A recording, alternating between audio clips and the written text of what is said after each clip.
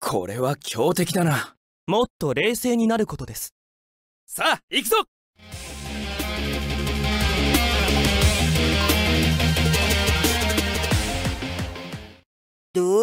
料理してやろうかのハローエブリマン、レッツエンジョイジャバカー。さあ、今日も撮っていきたいと思いますね。えー、まず告知からですね、えー、この YouTube チャンネルのこの冒頭ではですね、そろばん業界に関連するですね、いろんな告知を、えー、しております。えー、何か大会とかですね、研修会とか勉強会とか、えー、あとはまた選手の皆様でも構いませんので、保護者の方やですね、えー、何かそろばんに関係することで告知してほしいよという方は、ぜひですね、連絡ください。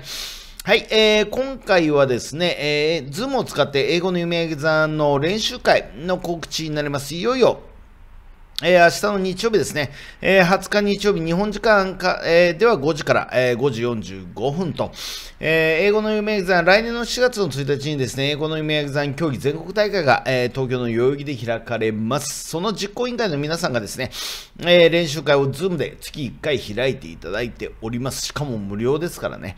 はい、えー、今月はですね、ホルト先生ですね。じゃあ、どうやって参加しましょうかということなんですけど、えー、LINE のオープンチャットがありますんでね、えー、こちら登録しておいてください。えー、練習会の ID や Zoom の ID、パスワードなんかはもう発表されておりますし、また来年の4月の大会のですね、えー、詳細なんかが一番こちらの LINE のオープンチャットが情報的には一番早いはずなんで、ね、そういう意味でも登録してもらえるとありがたいと思います。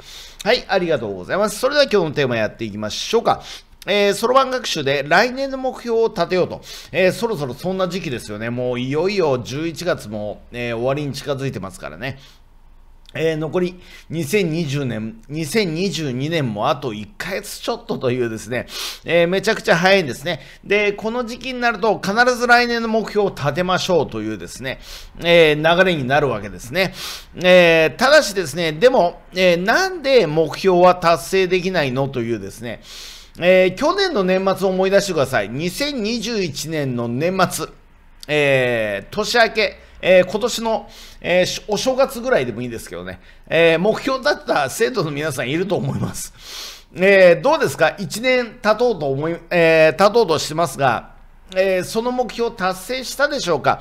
え、8割ぐらい、大半の方がですね、え、何の目標を立てたかぐらいわからないと。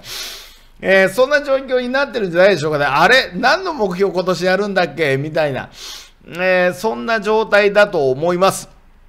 えー、なんでそういう状況に、えー、なって目標が、えー、達成できないのかという、えー、お話と、えー、実は対処法あるんです。えー、もう、ぜひぜひやってほしい。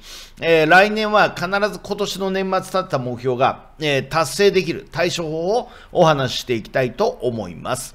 はい、えー、じゃあですね、もう、あのー、なんで目標が、えー、達成できないかというとですね、その目標を忘れちゃうんですよ。その目標、目標自体、あれ何だったっけ？目標、何だったっけ？って忘れちゃうんですね。で、えー、対処法なんですけど、当然、えー、目標を立てて、で、紙に書くんですね。で、その紙を、えー、貼ってると思うんですよ。えー、自分の机の上で、えー、自分の机のところであったり、あとは冷蔵庫なんかに貼ってたり、貼ってたりとか、えー、なるべくお父さんお母さんが、え目に見えるところに、こう、習字で書いたりとか、自分のペンで書いたりとかした目標をですね、あの貼ってあると思うんですけど、えそこまでだと思うんですね。え皆さんが、えやってることっていうのは。で、えもうあと一歩なんです。もうあと一歩なんですね。えー、そこまでやってもですね、えー、達成しないんです、目標。えー、何が必要かというとですね、目標を達成させるためには、え検証が必要なんですよ。え検証と修正、検証と修正を、これを繰り返さなきゃいけないんですね。で、人によっては、えー、毎月検証と修正を繰り返さないと達成できないでしょうし、えー、人によっては半年に1回、えー、3ヶ月に1回検証と、えー、修正を繰り返さなきゃいけないっていう制度のみんなもいると思うんですけど、え、とにかく検証と修正を、え、しなければいけないんですね。じゃあ、例えば、えー、2023年、そろばん暗算段位取得しますと、段位目指しますと、えー、紙に書きます。習字で、筆ペンで、綺麗に。で、それを冷蔵庫に貼っておきましょう。毎日見えるように。けど、えー、時が経つと、えー、あ、お母さん、ハーゲンダッツのアイス食べていいって言って、えー、その目標をビリビリビリって破りながら、えー、冷凍庫を開けてハーゲンダハーゲンダッツのアイスを取り出してしまうんですね。えー、で、えー、まるまるくん、破れたじゃない紙、捨てときなさい。なんて言って目標がゴミ箱に行くわけですよ。でですね、えー、そうならないために、じゃあ、えー、段位取りますと。じゃあですね、まず、えー、1月の末、1月の末にですね、現状どの辺か、えー、っていうのをまず検証してください。えー、そろばん、えー、3級だと。えー、暗算は、えー、2級の今練習してますと。えー、目標は段位なんで、えー、例えば段位の試験が残り1月の段階で、えー、年末まであと何回ぐらい来るんだろうというのも計算して、えー、じゃあ、えー、例えば2ヶ月に1回第2の試験があるんであれば、えー、じゃあもう次は一番早いのは3月だなと。で、3月はとりあえず段位は受けれないんで、今、3級練習してる3級を絶対受かろうと。で、その次の試験は、えー、2ヶ月後の5月、え、に、じゃあ2級受かろうと。で、さらにその2ヶ月後の7月、え、1級受かろうと。で、9月によしよし、段位受かるなと。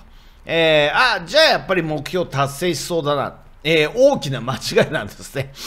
えー、ここで検証が必要なんですよ。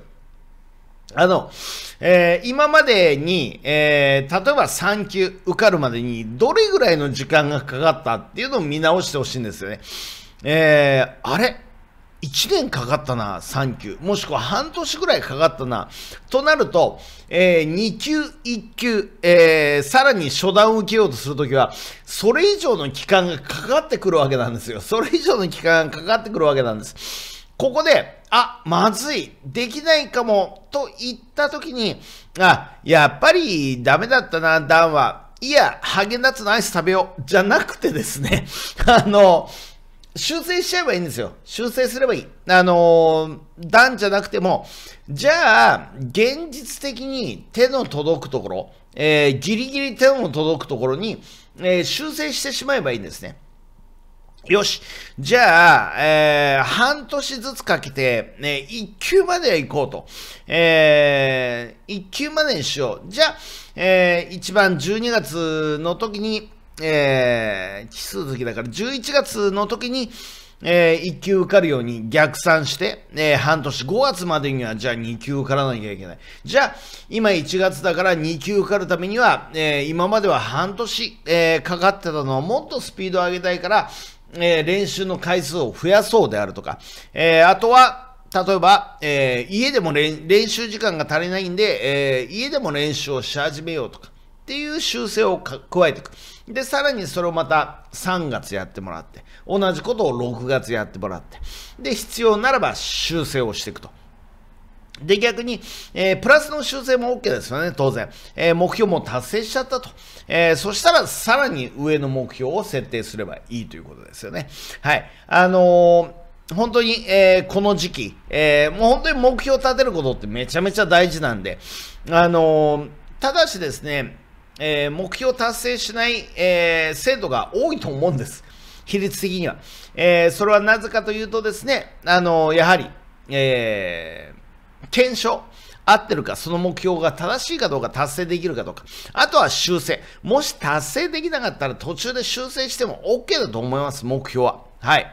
あの、この2つをやってもらえればですね、えー、今から年内、えー、しっかり2023年の目標を立ててもらっても、えー、OK なんじゃないかなというふうに思います。はい、えー、今日もですね、動画最後までご覧いただきましてありがとうございます。感謝です。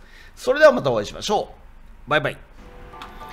Zoom を利用してゴリ先生と何でもお悩み相談ができます。興味がある方は是非概要欄をチェックしてみてください。